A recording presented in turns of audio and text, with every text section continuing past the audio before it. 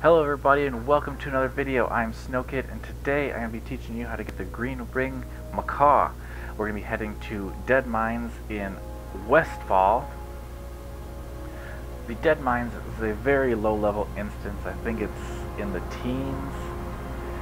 Uh, so any higher level class should be able to solo this with absolutely no problem.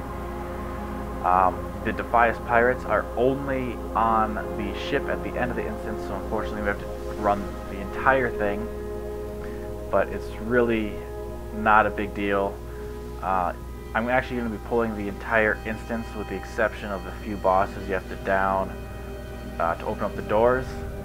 But I'm not taking any damage. I don't have my ice barrier up. I don't have anything up. I'm like I can stand there and loot and, and look at the loot and all their attacks are missing me.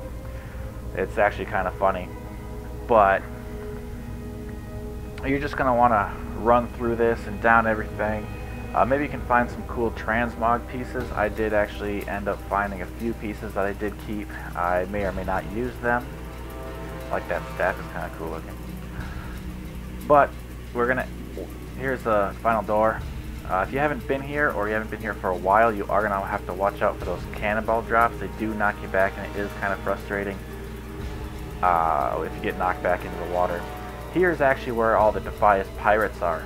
So I'm just going to gather them all up along with the... I think the whole instance is still following me. I could be wrong. You're just going to gather them all up and I'm going to take them all down with an arcane blast. I didn't get anything in that group.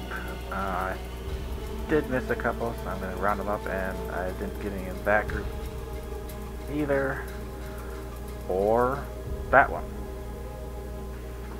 I actually did get it to drop one time while I wasn't recording the whole run, but there it is, me looting it.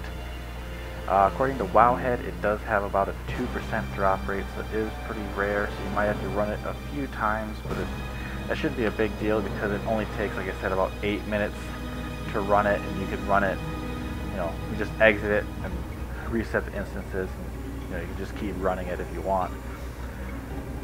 But this is what it looks like. Well, that's everything I have for you today. If you liked the video, please comment, thumbs up. If you really liked it, please subscribe. I will be putting more videos like this out in the future. You would like, you can click the videos to the right. They will bring you to more of my pet and mount guides. Thanks again for watching, and until next time, happy gaming.